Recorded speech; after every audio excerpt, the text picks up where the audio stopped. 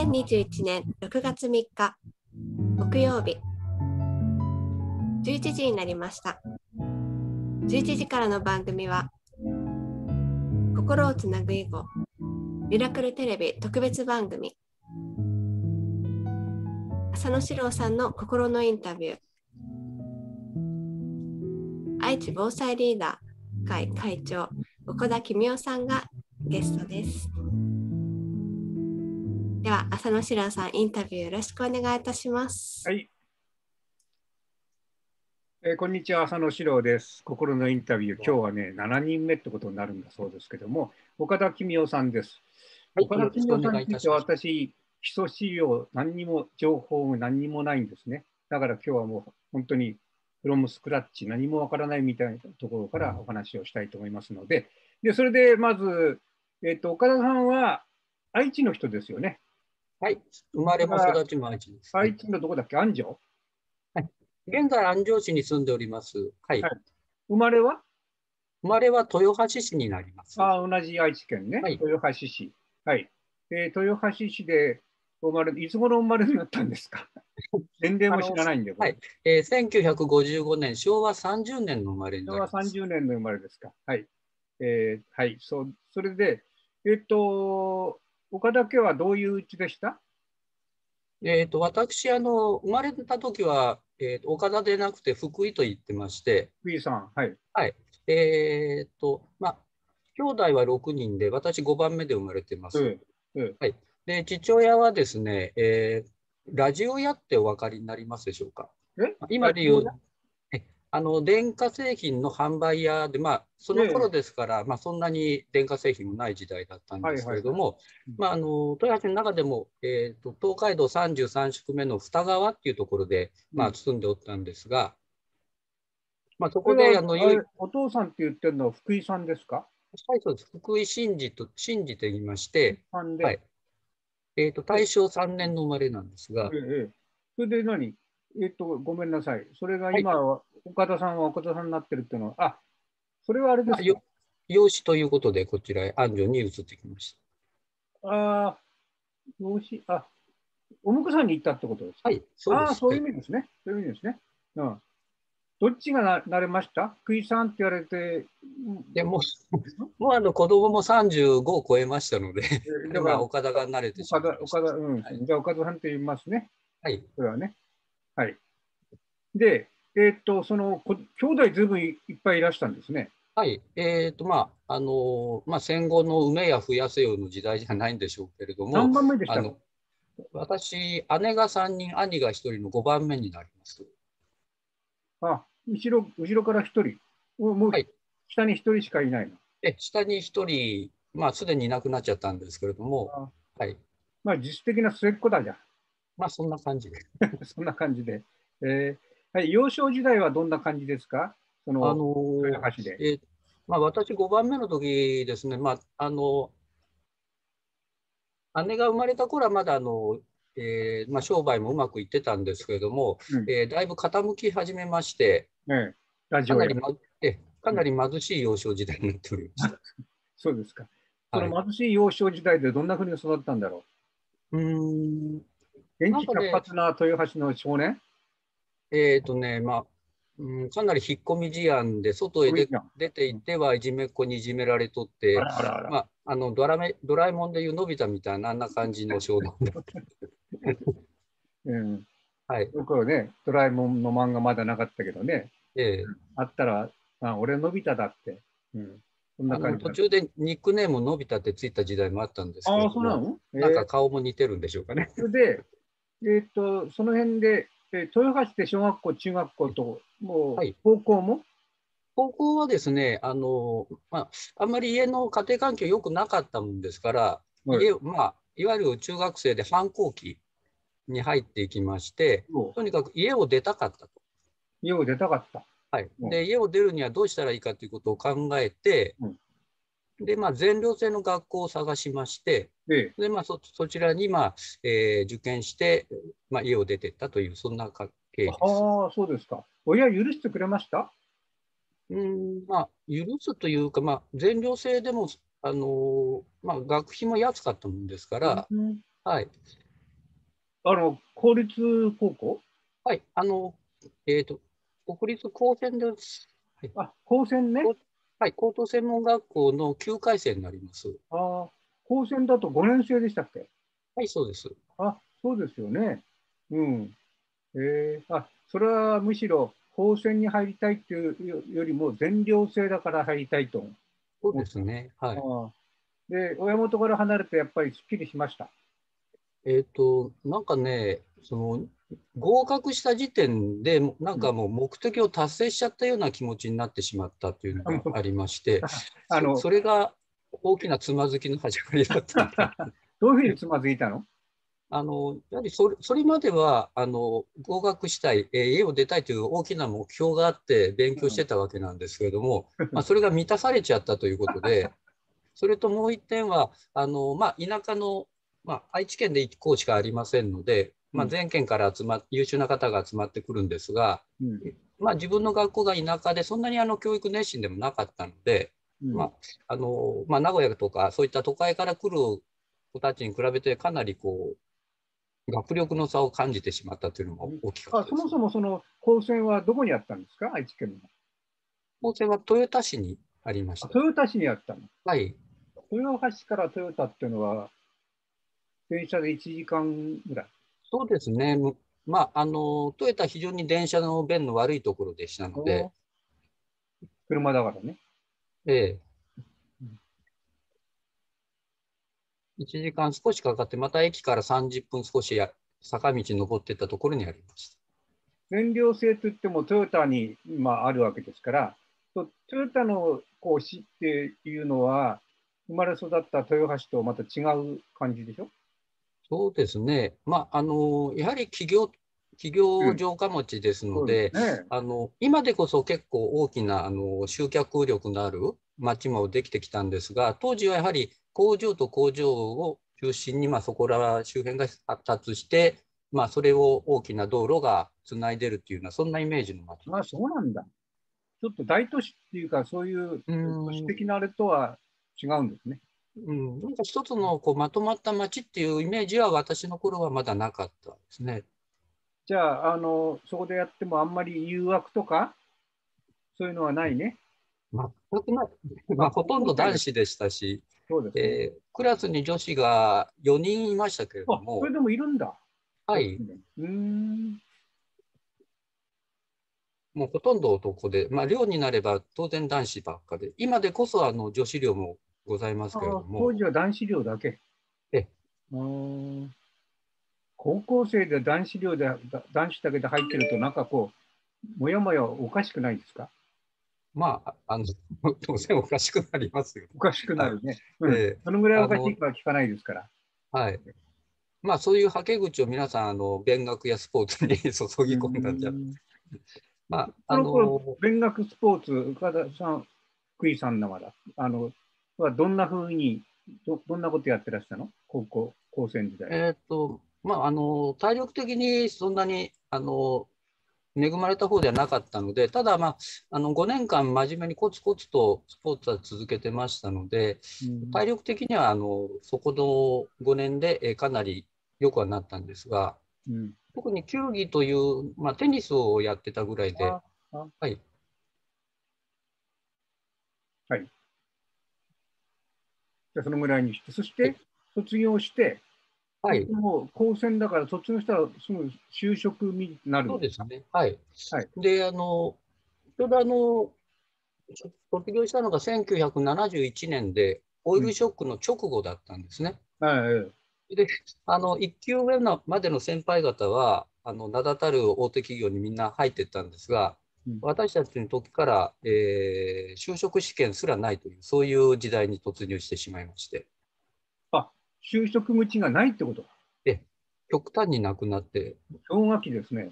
はい、に入ったあの最初の年でした。おー。高専だから、専門はその電気とか機械とか、そういうことですか？はい、えーと私はまあ建築で入りまして、はい、うん。じゃあそれであの、えーと入試の直前に大阪で万博がございまして、70年ね。えで、うん。それに1日だけあの見に行ったことがありましてね。はいで、まあ、やっぱりさまざまなこう建物を見るにあたり、おう。まあ、それに憧れを持ったというのが単純な動機。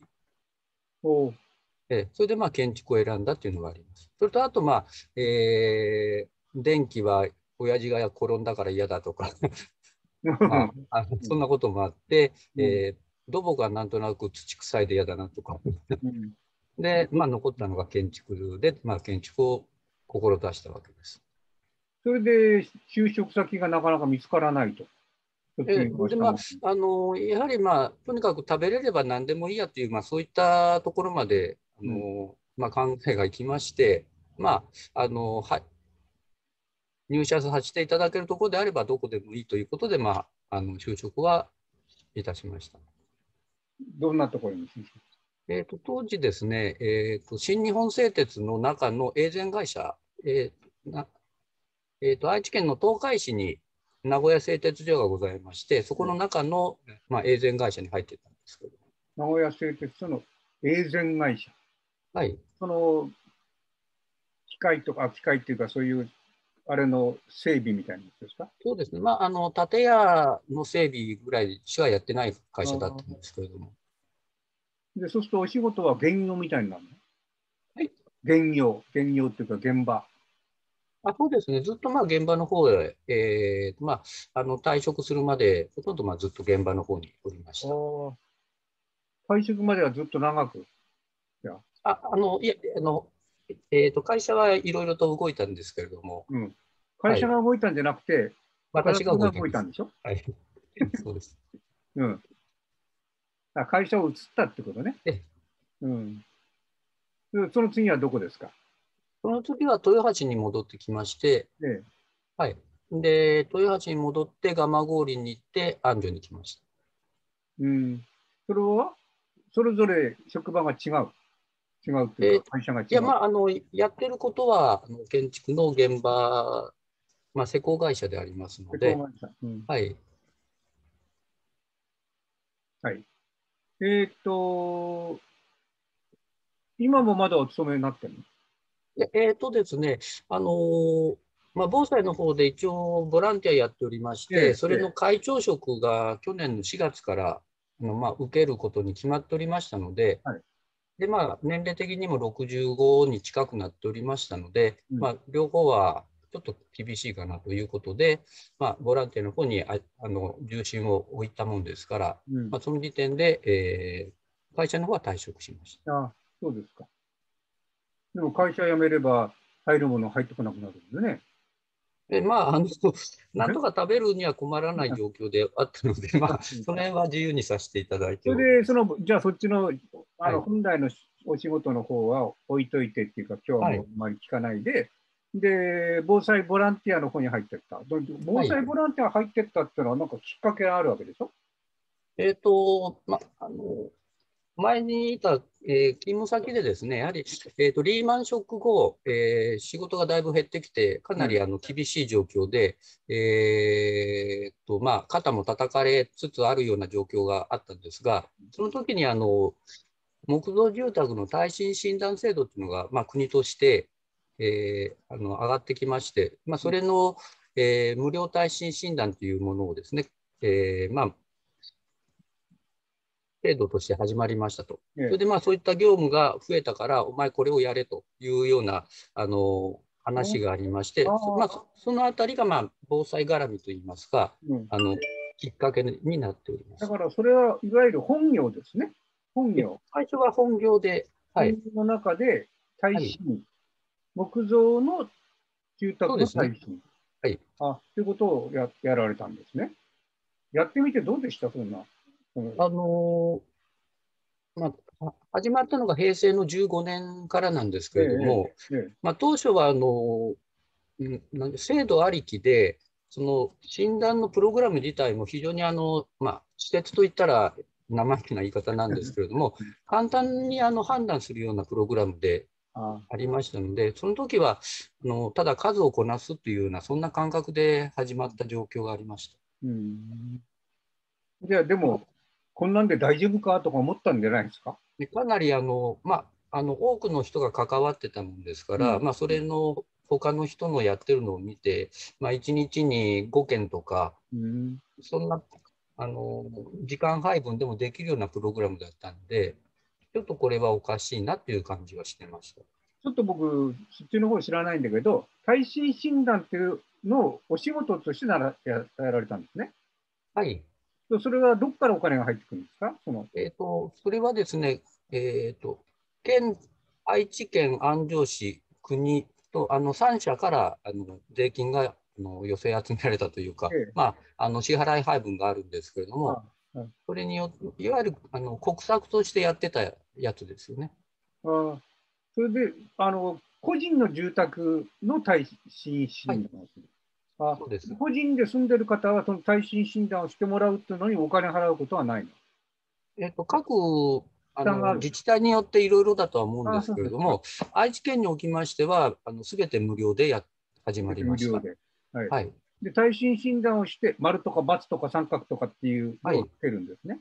まあ、あの、数字評価が出てくるもんですから、で、で、まあ、いわゆる1というのが今の建築基準法に見合う強度のある、えー住宅ですよっていう判断になります。1。で、それでないのは0.8とかそういうはい、そうですね。の。ああ、1以下は、1未満はダメなんですね。はい。あまあ、あの、結果としてよろしくないという、まあ、そんな文言が出てきそのやっぱりやってると出てくるんでしょ？よろしくないっていうあのまあお、ほとんど、ほぼほぼそちらになります。あ、ほぼそちそちらなの、はい。あそしたらば、これでよろしくないってなったら、じゃあ、耐震改修をあのやりなさいって言わなくちゃいけないね、少なくとも進めないと。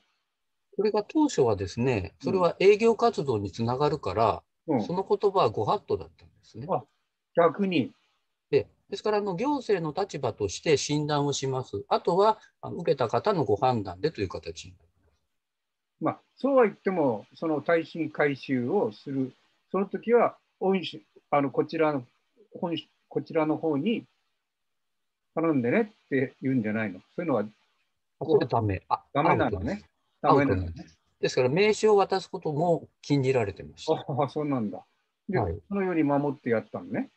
はいえーあでもまあ、結局それをやってたもんですから、耐震、まあ、診断をしても結局は回収につながらなければ、地震に対しての方策としては何もしてないことになるわけですねそうで。すね。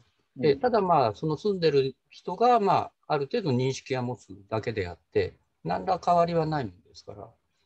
それはで岡田さんの言ってる会社で回収してもらうってことでないにしても、やっぱりその、えーちょっとよろ0.7とかっていうなったところの人は、大体回収すするんですか？いやもうあの、当初は1割あれば多い方ぐらいえで、ー、そうなんだ。はい。じゃあ、何のために耐震診断するかわからないね。うん。ですから、その、えーなんでやらないかっていうアンケートなんかよくやってたんですけれども、うん。要するに業者が信用できないとか、やっても効果がわからないとか、えーと、地震がいつ来るもんかわかんないのにやらないとか、追い先短くてお金がないのにそんなもんに使いたくないとあか、あわかるわかる。うん。であの第三者に家に入ってきてもらいたくないとか、ああ、なるほめんどくさい、誇りになる、理由はいろいろあります。ああで逆に耐震改修求めら求められても進められてもうん1割か2割しかやらない。そうですね。まあ、あの、向こうから依頼があれば断ることはまず、あの、営業っていうです、あの、民間企業ですからうん行いませんので、はい。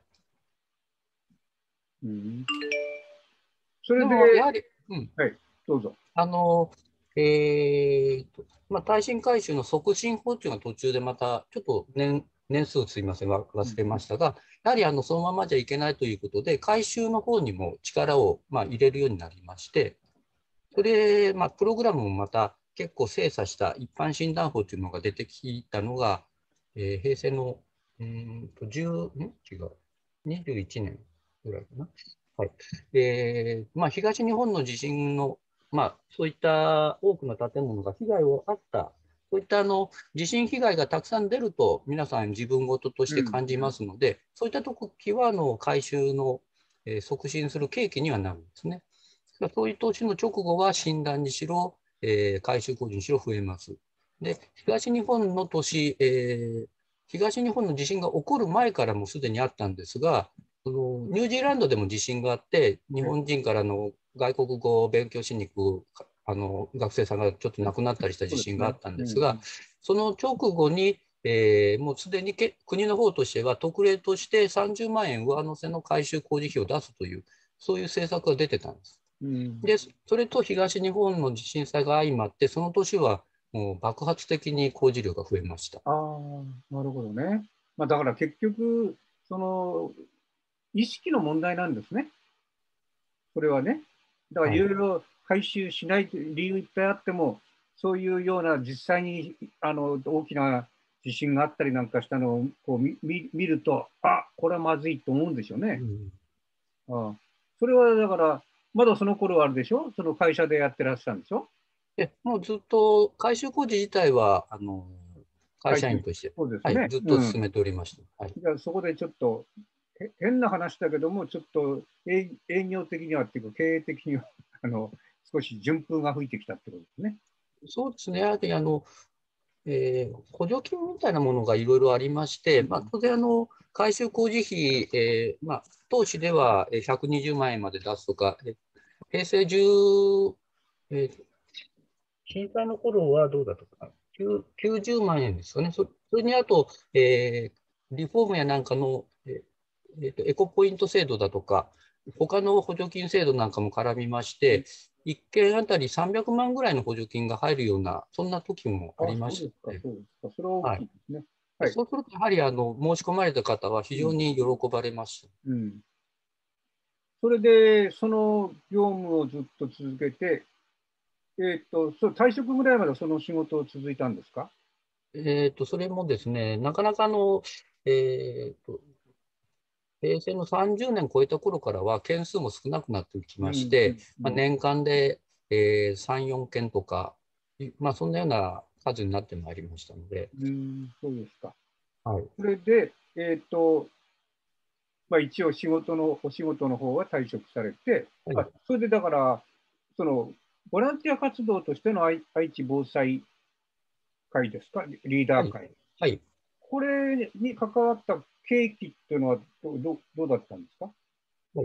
えーと、まあ、その会が発足したのが平成の15年なんですけれども、ええ。まあ、愛知県であの防災リーダーよまだ会社にいらっしゃいました。会社にまだ岡田さんいましたよね。えまだあの私、令和元年までいましたので、はい。ね。はい。うん。えあの平成の元年から令和元年まではあの前の会社にずっとおりましたので、うんあのえーと平成15年ですね、に会が発足して、えーその前、平成14年から18年までに愛知県が年間300人の方を防災リーダーということで養成をしてたんですね。えーと12時間の講座がございまして、うんえー座学が90分の3講座が8日間と、うんあと実務研修が4日間。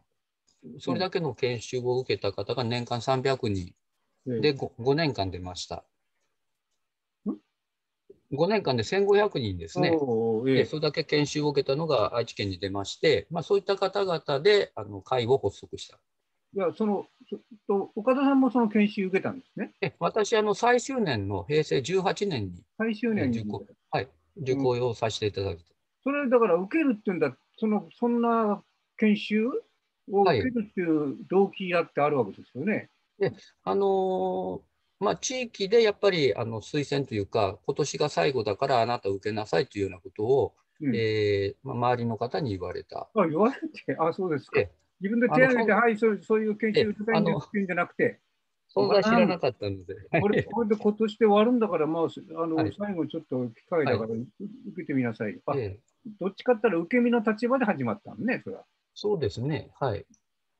で、研修受けてなんか変わったんですか？うーんあの私あの、大学行ってなかったので、ねその講座を受けた会場が名古屋大学だったんですね。えですからあの、行くのが嬉しくてしょうがない。すごくあのときめきながらあの講座あの方通ったんです。あ、うん、それも一つのあれですね、動機えづけですね。ええあうんの非常にあのウキウキして行ってました。えーそうそういうウキウキはいいんだけど、その研修っていうのはなんていうんですかね、あのその後っていうか、またその役に立ちました。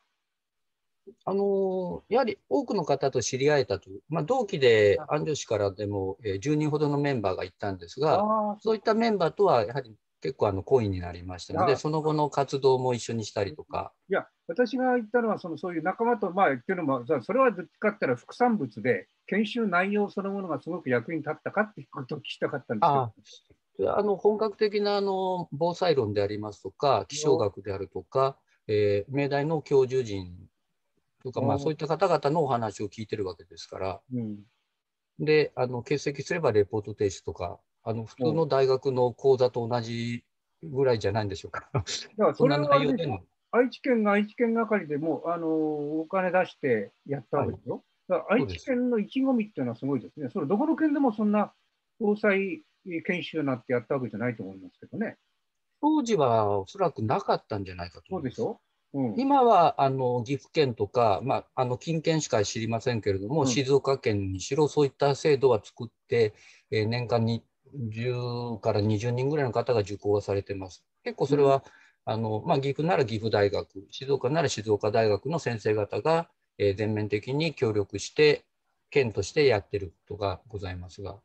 そこで岡田さんは名古屋大学で受けて、なんか大学に入ったような気になって、ウキウキして研修を受けたと。はい。まあ、それからその時一緒に研修を受けて、えっ、と、おえっ、と、岡崎じゃなくて、どっちだ？えっ、と、あ安城安城から一緒に来た人なんかと仲間になって、はい。お友達になってって、それからにつながるわけですね。で、それ、であの活動自体やっぱりあの、えー市単位でやるようなイベントごとだとか、ええ。やはりあの多いもんですから、そういった時はあの市としてそういったその防災リーダーの研修を受けた人間でのまた、えー集まりごとがありましてね。うん、で、まあ、活動はしておりました。うん。だからそれも勤めながらですよね、その頃はまだね。そうですね。はい。ね。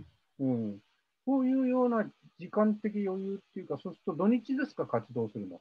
であの平日はなかなかやっぱり昼中は難しいので、うんで、まあ、受講者の中には、町内会の役員さんであるとか、あのすでに、えー仕事の方を退かれた方もたくさん見えましたので、そういう方々は地域の、えー活動と、まあ、その中に防災活動を踏まえてやってますが、わ私はやっぱりちょっと土日でないと難しいことが多かったので、はい、で愛知防災リーダー会っていうのは、あれ、できたのはいつですか？えっと平成15年です。あ、もう、あ、そうか、さっき聞いたね。はいで、最初から会長？加田さんは。ええ あの私、6代目になります。6代目、6代目になる。会長になって、あ、そうか、まだ最近だっけ？ええうんで、あのコロナと一緒に会長になってあ、コロナと一緒に会長になったんだ。えーっと、それでその、なんか資資料っていうか、あの、映像みたいなの用意してるって言ったのは、それは愛知防災リーダー会の活動についてのものですか？そうですね。あの、まあ、去年ですけれども、まあ、例年とやはり大きくあの活動範囲が狭まったんですけれども、そんな中でもまあ去年やった活動がちょっとありますので、まあ普段こんなことをやってるということをちょっとご覧いただければ。あそうか。ただそれはコロナの中での、あれだからちょっと普通と違うんだってことも、ねまああのコロナの中でもちょっと波がありましたよね。ええええ、あの、まあ波のこう谷間の方でやらさせていただいたことじゃあが、まずそれ見せてもらいましょはい、う。ね、付きで。はいうん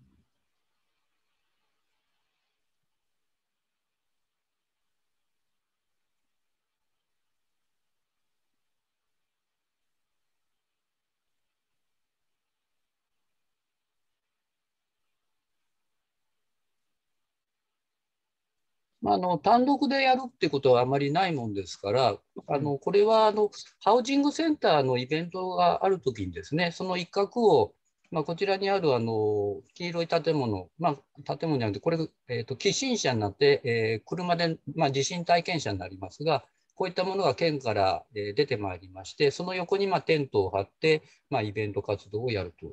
これはん去年、2020年ですかはい、えー、と去年の10月ですね、まあ、あの県内にあるあちこちでやるんですけれども、はい、うん。まあ、地元のあの中日新聞社が主催しておりますハウジングセンターで、まあ、例年やってることであります。から名古屋市であると相か、談なんての、はい、あの旗が見えます。家具固定相談。はい。まあ、これであるとか、耐震相談とか、そういうようなことをえー上りとして、えー作っておりまして、そんなものをテントの横に立てて、あと、まあ、この手前にちょっとあるパネルをですね、つけて、まあ、家具固定の啓発、あと中には、まあ、この辺に小さな家具の固定用のですね、えー金物類の展示なんかをして、まあ、子供連れが多いもんですから、えーこんなナマズの絵の、えー塗り絵をしてもらったりとか、まあ、感染症があまり厳しくなかったときは、笛を作ったりとかですね、あのもっと密接に、えー触れ合えるようなこともあるんですが、とりあえずまあ単独で塗り絵をしていただいて、まあ、それをラミネートにして、お子さんにお渡しすると。まあ、夏場なんかだとうちわ代わりにもなるので、結構喜ばれたりはしております。まあ、そんなようなことをして、毎年やってる、やってたんですね？で毎年5、6箇所でこういったことは毎年5、6箇所で。はい。で、まあ、他にもやってますので、うん。まあ、これがあの最近あのリコールで話題になった愛知県知事なんですけれども、あのこちらに映っておりますが、あの愛知県の、えー農産物とか加工食品などの、えー販売促進のフェアが例年ありまして、あのまあ、イオンさんでやるんですが、イオンさんの中の一角をこういった形で、えー、家具の固定啓発をしております。うん。で、こちらがですね、あのセントレア、えー名古屋の国際空港がはい。そこのあ伊勢湾沖にあるんですが、そこのところにでえ去年できた、えー屋はい、屋外展示施設があるんですが、コロナで全く使われてないといううんかわいそうな施設なんですけれども、そこであの野外の活動の方を中心にしたイベントごとで、え2日間で3万人の集客集客が、えーコロナ禍でもありましたえ。えはいで逆に集コロナ禍だからこの場所を使えたってことですね。えーと例年だと5万人ぐらい来るんですが、あ、そうですか、そうですか。はいあうーん。あ、それでも3万人来たってことね。はい、あのー神戸とか横浜とか結構遠くから来られる方が多くて、それはちょっと私が聞くのもなんだけど、なんでそんなに来るんですか？なんか、そんなに面白いっていうわけでもなくて、関心があるってことですかね？あの私らに関心があるわけじゃなくて、これ他の展示物がですね、まあ、キャンプであるとか、うん。えーペットであるとか、うん。えーそういったあのライフスタイルでアクティブなライフスタイルを望まれているような方々に、えー大きなイベントごととしてあのやってますので、あで必ずしもその防災ってことでもないの？でまあ、そこの一角に、まあ、愛知県として、えー、家具固定の方を啓発するという、まあ、そういう立場で、まあ、出展するあと。でうんあの県の人間が、えー、寄進者の操作をいたしまして、まあ、私どもはそこの横で固定啓発、あと、まあ、あのロープワークであるとか、そのようなこともしたりして、あとアンケート調査ですね。えー家具の固定状況を、まあ、来場者の方にお聞きすると、まあ、そんなようなことをやっております。へえそれがフィールドスタイル。はい。で、今年も5月に予定してたんですが、まあ、コロナの関係で、え5月の分はとりあえず中止になっております。で、あと、まあ、地域のですね、自主防災会の支援事業ということで、町内会の防災訓練なんかの時にま出向いてって、座学をやったりとか、まあ、こんな家具の固定の啓発、まあ、先ほどのイベントと同じような展示ですね、そんなことをしていただいたりとか、まあ、ここの場合は12月だったんですけれども、屋外に皆さん椅子出していただいて、ここで聞いていただきながら、あのそれでまあお話をさせていただいたと、まあ、そんなようなことをしておりました。あと、まあ、あの町内でですね、まあ、これ私の住んでる町内なんですけれども、うん。えーチラシを巻いて、えー家具の取り付けを、まあ、私が直接行ったと、まあ、そんなようなことも去年、えー去年はしておりました。直接岡田さんが家具のこれ私が、なんかはい私が家具の固定やりやりに行くんです。無料で？えっ、と、まあ、金具代だけちょうだいねというあことで。花具代はもらう。うん。はい。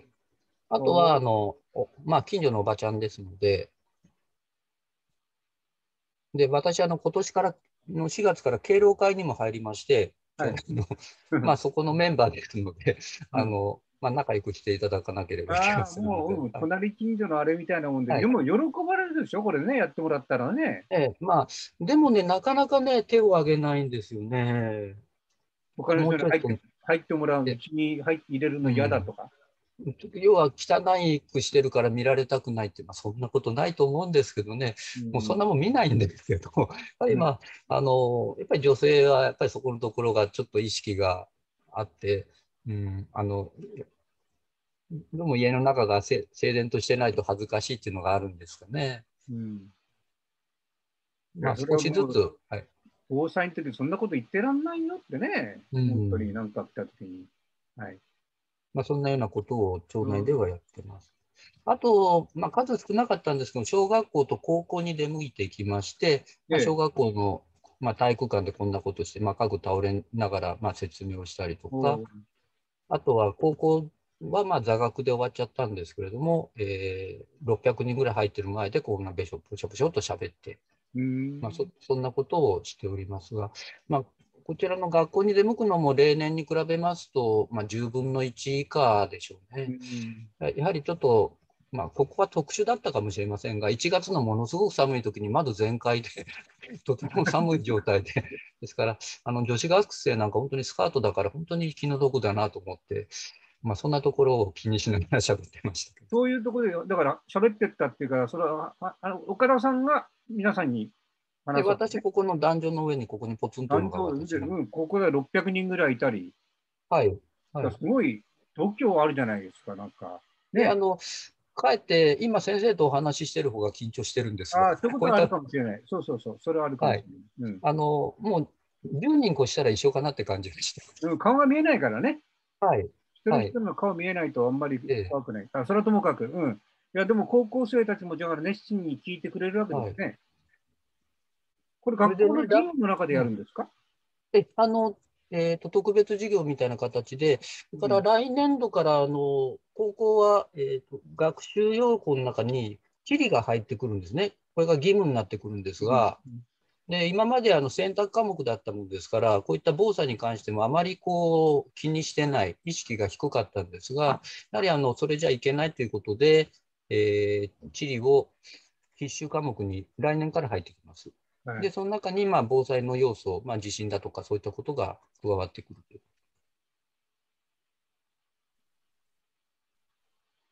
で、先生、来週なんですけれども、はいあの私、幼稚園に行くんです。え幼稚園に行くってわざわざ言うっていうのはあ、あんまりないことなんですか？え、あの、初めてなんで、初めて行く幼稚園に。幼稚園で防災訓練やりに行くんですけれども、これは難しいんですよね。ええ本当に。えうん。それであのやっぱりこういろんな情報を見見て探し回ってですね、うんあのいいなと思う情報があったので、昨日もあの安城市内の、えー定例会があったもんですから、そこでみんなであのお遊戯をしながら、ダンスの振り付けの勉強会とかですね、紙芝居の読み方とか、そんなことを昨日やってまして、まあ、そんなものを持って、えー来週行くつもりでおるんです。昨日聞いた話で、人形劇、あ、昨日じゃなかったから、人形劇なんてのは本当はいいんだよね。そうですね。あの、あの愛知防災リーダー会でも、あの、腹話術をですね、やられる方がおって、まあ、そういった腹話術用の人形を持ってね、やられる方も、え中にはお見えになります。ああなかなか難しいからね、幼稚園の人相手にはね、そうですよね。興味を持ってもらってね、でまあやるんだ、うんうんそうですか。え、来週？の来週のですね、えー来週、再来週か。ごめんなさい。15日に行きますので、再来週ですね。ちょっとあれだね、ドキドキ、ドキドキするね。で帰ってねあのそれもまたワクワクします。ワクワク、ワクワク、ごめん、ワクワク。はい。はい。いろいろごはい活躍であと、あ、まあ、あの私たちのメンバー自身もいろんなものやっぱり知見を広めるということで、うんえーまあ、みんなマスク姿なんですが静岡県の地震防災センターの見学で、まあ、これはあの津波の避難用の、えー大きなあ横断歩道橋みたいなところで、まあ、上が2000人ぐらい、えー入れるんですけどそのようなところをちょっと見させていただいたりとか、まあ、ここの方があの、えー、と2代目の会長さんなんですが、うんえー私の、えーこういった座学の大先生で、この方からいろんなものを教えていただいております。なんか人形持ってるじゃん、これミッキーマウス。はい。で、まあ、これでこのカラーボックスを倒しちゃって、で、べしゃんとやって、かわいそうだね、こうならないようにというようなことで、まあ、お母さん方に、えー危険性をまあ訴えるという。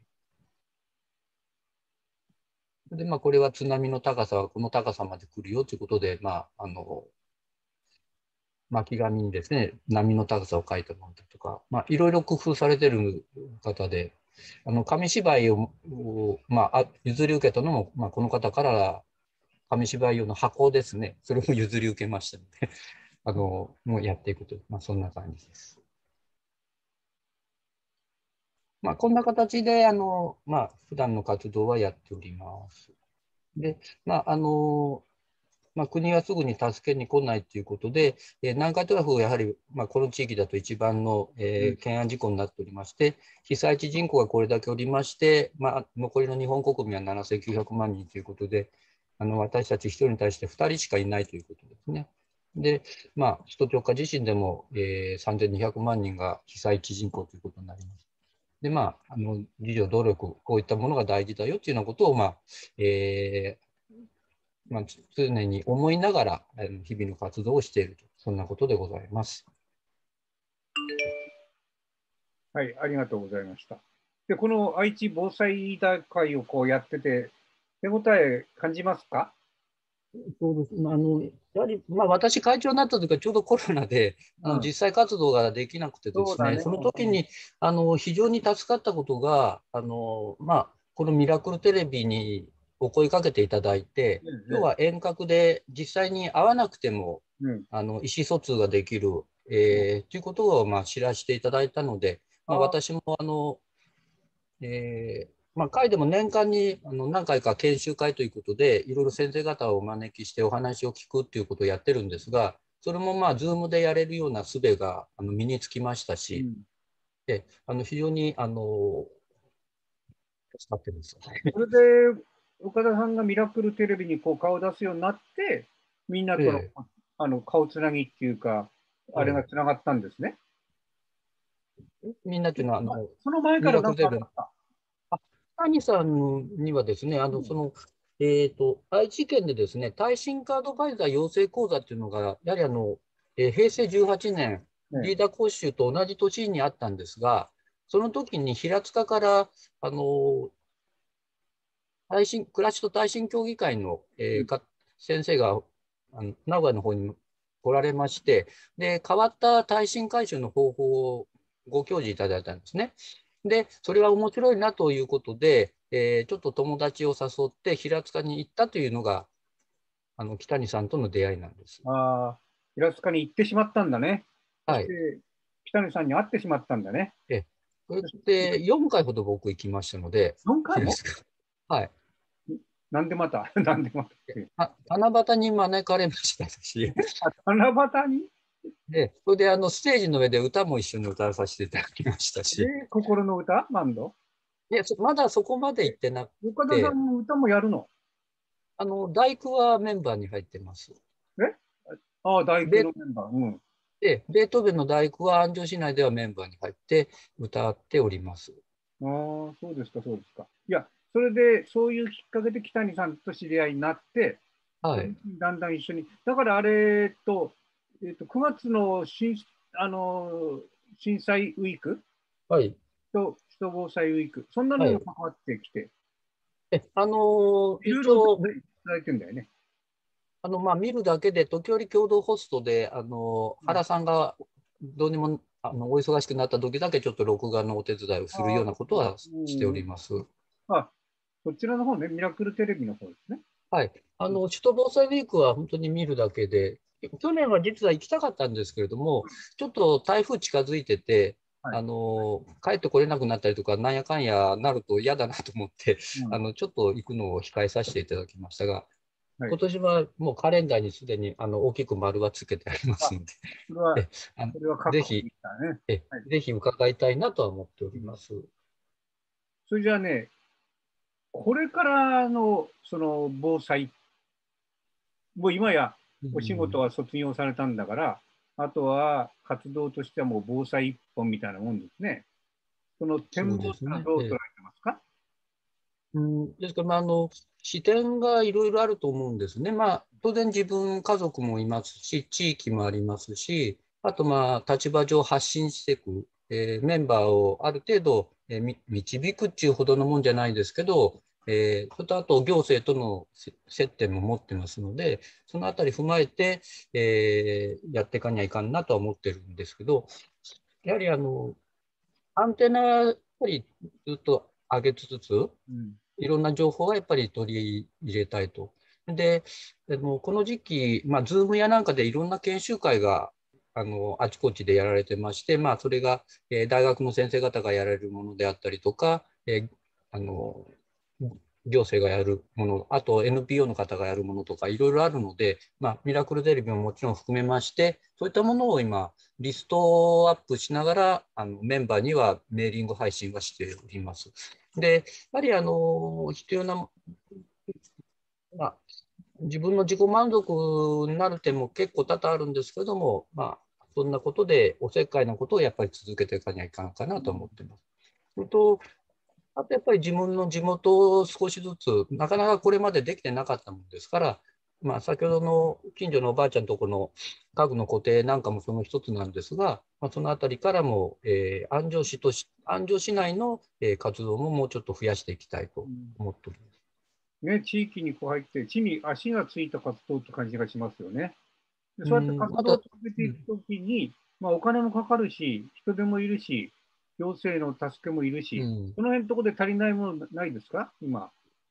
えーと今年ですね、あのえーと、安城市の社会福祉協議会で補助金事業がありましてね、あのちょっと壊れかけたプリンターがあったので、プリンター買ってもいいって言ったら、とりあえず OK もらったので、で、あの A3 の、えータンク式のプリンター結構高いんですけど、10万弱のやつを補助金で9割までいただいてあの求めるとか、あと、あのまあ、ボランティアでも結局、最近いろんな先生方言ってますけれども、ビジネスに結びつけていかないとなかなか長続きしていかないっていう、まあ、そんなお話は受けてはおるので、できるだけやっぱり出向いていった先から、まあ、せめてその機材、機材費程度、生活費までよこせなんてことはとても言えませんし、まあ、あの他のメンバーもそこまで思ってませんので、えー交通費であるとか、えーそれを作った機材、その程度のものの、まあ、謝礼ぐらいはいただけれるようになるといいかなとは思ってます。じゃあ、これからも。うん。たださ、せっかくなので、あの、映像をあ。見せ、まだ映像あるの？ああのですね、秘蔵、えーと秘蔵映像。はいあの私があのビデオ停止するときにたまにあのぬいぐるみが出てくるんですけれども、それで踊ってるのがあるんで、それもあの防災の活動の一つなんですね。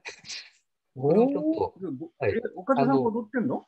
えあのそんなのがはい、なんだ、恥ずかしがり屋とかなんとかって言いながら結構露出してるじゃないですか。えこれ？ちょっとお待ちください。今ね、あの音声を入れるの忘れました。音声まで入るのね。えーとあ、なんだなんだ、ちょっと。これ OK でいいのかな？これやって、音声共有を押さないとダメだ。時間大丈夫ですか？その、そんな長くないでしょ？え、2分ぐらいです。あ、2分ぐらい。あちょっと待ってください。あれ消えちゃった。すいません。えーっと、と共有するときに音声の共有のチェはいックを、そうはいですね。なんかいろいろ出てってごめんなさい。出しっぱなしになっちゃう。これどうやってスライドショー終了。よいしょ。いっぱい開いてるとね、なかなか見つからないですね。そうなんですよ。ありがとうございます。フォローしていただきまして。で、開いた状態にして、で、止めて、見せ場の辺から出してきて、止めて、置いて、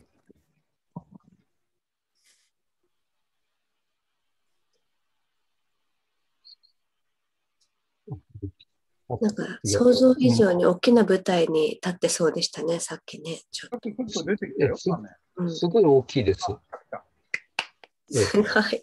すごいんえ、これ、はい、開始にしてください。あ、これ真ん中で。は39秒。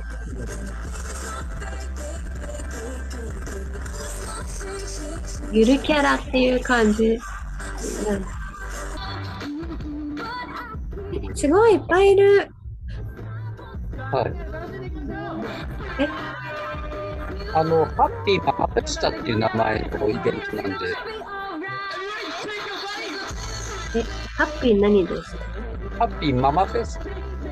えー、この重要のあの大きさのあの感覚これから、があの、赤ちゃん産むっていう立場の方から、小さなお子さんをお持ちの方。新しい。はい。であの汗だくでやってるんです。はい。はい、こんなところでよろしいでしょうか？岡田さん本人はさっき出てきたんですか？これ私。青い、青い、このナマズの、これ 食べてる人？これ私です。この生、あの青いナマズの子ですよね。この真ん中の。あサングラスかけてね。あ、じゃないじゃない。このナマズの、あの着ぐるみ着てる。着ぐるみ着てんのこ。の唇がビヨンって大きい。ちょっああ。ああ、ここの中に入ってんの。とセン,、はいセンターですよね。センター。センター、センター。センター。ああ、顔も見られないの恥ずかしくもなってない。あ、まさかのセンターを取ってる。センターを張ってます。センター。いや、これで、これで何？これ、これ防災と関係ないんでしょこれもあの防災のブース出してるんですね、この時にも。はい。で、あの愛知県のヘルメットかぶってます。ああ、HK のヘルメット陽明酒なんか出てきてる。はいの。ヨベスいましたね。なんか陽明酒います。はい。え、どのあとカップ何だったかな。これ名古屋市のキャラクターで、これ北海道の上川村のキャラクターで、うんこれどこだったかな。ここがどこだったかな。結構いろんなところのゆるキャラはがい集まって、あの、ふなっしーみたいなもんですよね。はい。そうです。でであの楽屋一緒なんですけど、皆さん大体20代、うん。うん。いや、おじさんって60代だ。けど、今の、こ今日のこの番番組であれを出した、あの、趣旨って何ですか？目的は。あの私がですね、あの凡人でつまんない人間だという、そういうお話で前触れで、あの電話でお話ししたので、あこういう一面もありますね。あの、あれなんですよね。あのキャラクターが、その防災の、あ、岡田さんが提案ですか？あの、いや、あれ違います。ですから、いつもあのビデオ提出するとこれになるはいはい、なんですが、そうなってますよね。はい、まこのこの子が、はい、の中に入る。ね、あのうん。え人生観が変わるんですね、あの中入ると。ああ、うん。変身願望がありますし。ああ、そうですか。そうか。あの、え、あ僕が電話で話したんだっけ？加田さんと事前に。え、あの、少しだけお話しさせていただきます。まんない人間みたいねって僕が言ったから、そうでええつまんなくないよっていうので、これ見したの。えーなんか、なんかね、あの番組として、えー成り立たないかなと思ったので、どうしたらいいかなと思って。いやいやいや、お気遣いいただいてありがとうございました。はい。じゃあ、それちょっとガラッと変わって、今のね、はいあの、ゆるキャラから変わってるんですけども、そうですね、もうちょっと時間まだちょこっとあんで、あのー、岡田さん、はい。ここまでの人生を振り返ってもらいましょう。っていうか、こう最近のことで。ね、あのーで結構その人生のちょっと終わりの方になって、防災っていうのに巡り合って、まあいろいろ活動をしてる。だから本来のじ仕事してる時もあったけども、本来の仕事を卒業してそうなってきて、こういう活動があったおかげで、自分の人生が少し豊かになった、楽しくなったっていうような感じはしませんか？これちょっと誘導尋問みたいなもんなんだけど。あの、やはりもらわなくちゃ困るんですけど。こういったことができるということは非常に幸せだと思っています。うん。で、やはりあの今、非常にお困りになっている方多い時代の中で、自分はあの明日のことを心配することなく、家族のことを心配することなくできるというのは、非常に恵まれた立ち位置におるということを思っていますね。そういう立場にあるってことですよね。え健康でもあるしね。えで、まあ、あの私、家の前があのちょっと広めの公園になってますので、あの公園があるんですけれども、まあ、そこの公園がやっぱりきれいにするっていうことで、また自分も気持ちが。なるほど。だからそういうことができるっていうことが非常に嬉しいですよね。まあ、そういうことも含めた人のためにこうやると、自分のために、うん人のためにやる、そんなことがやれるっていうのは非常に今、幸せだなっていうことですね。うん、なるほど。たまにあの大工なんか歌わせていただくでも、ステージに立てるってことはものすごく嬉しいことです。あそういうことができるっていうのは、非常に幸せな状態でないとやっぱりできないことだと思ってますから、うん、いや、いい人生観ですね、それは。今まで あれですけど、まあ、あのどこであの納得す納得っていうわけじゃないんですけども、やはり、まあ、自分がいいなと思えば、やっぱりよく思えてくるなっていうのが少しずつ分かってきたっていうんですかね。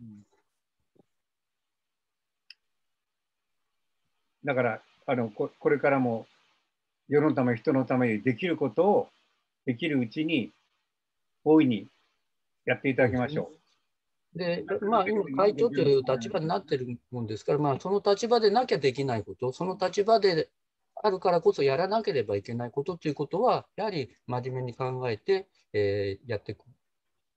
まあ、そんなつもりでおります。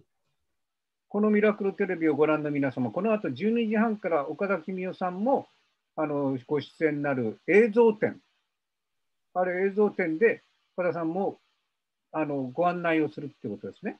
はい。